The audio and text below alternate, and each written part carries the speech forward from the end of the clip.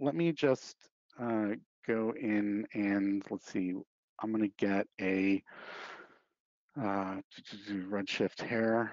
Uh, let's see, materials, hair, and um, I need its color to be uh, black. So I'm going to use the um, hair shader here. Um, and I'm just going to connect that like so. And then I'm going to go to its melanin. I'm going to turn that up. And so it's nice and dark. And I'll go ahead and apply this redshift hair to my Cinema 4D hair. Um, now, underneath that redshift hair, I have this color, I have this thickness of 0.1 to 0.1. Let's go ahead and uh, press play here, but the color is not coming from the Cinema 4D hair material, it's coming from the principled hair. So what I need to do is, this reflection is quite intense, so I actually found that it was easier for me to get what I wanted by turning down the IOR. And uh, then I could um, adjust the, uh, you know, the, the roughness.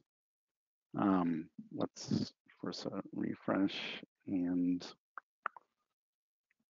so, you know, this is still very straight. So what I need to do is go into the Cinema 4D hair material and, you know, apply some style to it. So if you know we're thinking about that type four kinky hair, then we can see what we need to try and accomplish here. So I'm going to focus on, um, I'm not going to break down all these channels, there's too many. So I'm going to go right to kink and increase its scale.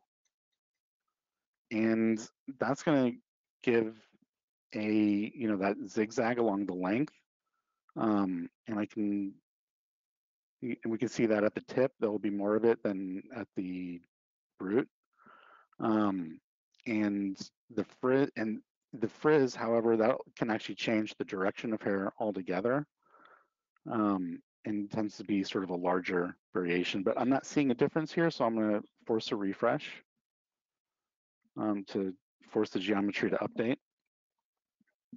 And what I started to do was I started to find that I just could only get so far with these channels.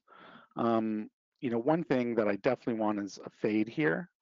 So I actually took a Cinema 4D gradient and I, let's close this, and I dropped it on the geometry to see where it would fall on the model. Uh, and then I could adjust its position. Here, let's turn this off. And, uh, and then I can use that to control um, the density or scale or length of the hair. Um, but once I sort of dialed in this position I liked, then I could, excuse me, I could copy this. And then let's put that back underneath.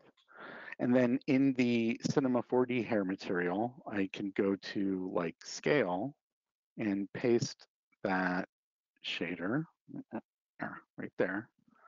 Uh, let's force a refresh. And then we'll see like in front of the ear and around the temples that we get a much better uh, fade appearance. Right, so let's see, I can. Oh, yeah, that's looking great. Yeah, it's much, uh, it's, you know, much more stylized, you know. And using BodyPaint, we could certainly uh, paint our own maps uh, here. So uh, we don't have time for that, but there is actually already a couple of textures that can be used. So like this asset, this is the, you know, I used hairstyle woman. There's also a, uh, a man and there are some textures that are being used with them as well. So here I have this hair density map which I can copy.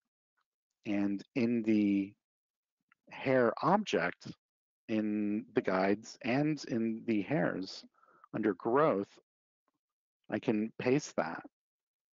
So that's further refining where the hairs are uh, seen and not seen. Um, now let's get some more style in here. So let's go to the uh, hair material. And actually, you know what? I'm going to shift gears a bit. I'm going to use some tools. So I'm going to go to my barbershop layout. And I have my hair selection tools on the left. I like the name of the of the layout. Thank you. Um, and actually, this isn't exactly the one I want. So let me go to my Redshift barber. That's my newer one because it has uh, it, it, has everything that I want here. So um, what I'm going to do is I'm going to go to um, lives, or let's do like a lasso selection and select some of these hairs here. And then I'm going to go with um, the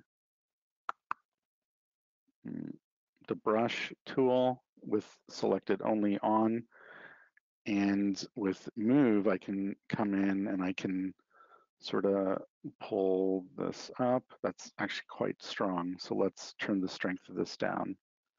And there we go. Now I'm actually doing this on the guides rather than the tips or roots or the individual vertices.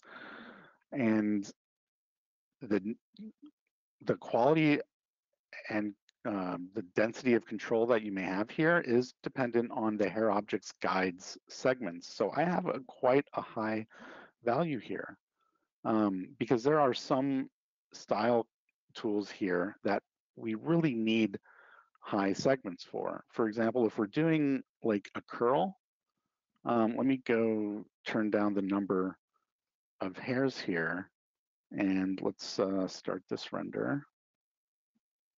Uh, and let me zoom in on, okay, so we got a couple of hair strands here and they're pretty like kinky, right? So let's uh, turn that down or off. And, you know, when we want like curls, we actually don't use this curl. Um, we instead can achieve it with, uh, there's two ways. One is the wave. So let's see, let's force this refresh. And in the wave uh, parameter here, I'm going to unfold it and I'm going to set the X and Y frequency to essentially the number of um, coils that I want. Uh, and then, let's see, I'll turn that down and let's force a refresh. Um, there we go. So now I actually have a coil. One thing I did need to do is on each of these spline graphs, right click and uh, set to maximum. Because without doing that, the default values, let's just go reset to default for all of these guys.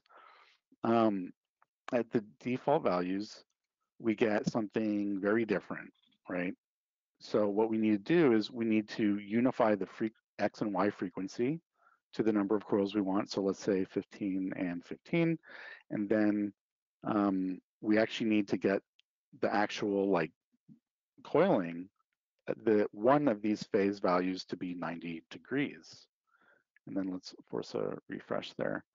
And if there are enough segments, then we'll see it. But you can see at the base, there's far less of that coiling. So that's why we need to right click on the spline graphs and choose set to maximum for them. And then when we refresh, we'll see a more consistent coil from the base to the tip. Now there's another way to achieve this um, outside of the material. So let me turn that off and stop that there. And let's um, choose a, so like, well, you know what? I'll just do uh, do them all. So I'll go to guides, select all these guides, and then we have this curl tool here. So I'm gonna select it, and this has a lot of settings, okay? But all I'm interested in here is essentially an angle of zero and low numbers for the uh, X and Y height and length, uh, particularly the length. So I'm gonna set the height down to one and the X and Y length to, let's say, three. And I'll hit apply and I can start to see that now in the guides themselves, I'm getting that coil, but at the base, there's not enough. So I need to, again, set to maximum for these graphs. And now I'm getting um, that, that curling uh, uniformly, uh, you know, across all of the, the hairs. Um, and let's see, let's, wow. Um, so you know what, I'm gonna stop here and I'm gonna switch to a, um, one of my example, uh, you know, one of the scenes I was building up um, and do a render. And the thing is, I'm actually using multiple hair objects for different parts of the hair. Um, so I'm just gonna uh, start this running real quick. I think this may also be um, similar to this render, uh, which is, you know, very messy. Um, it's me still finding the best route for this style that I'm uh, going after. But I was happy with how close I was uh, I was coming. Um, now I yes, want to. Thank you.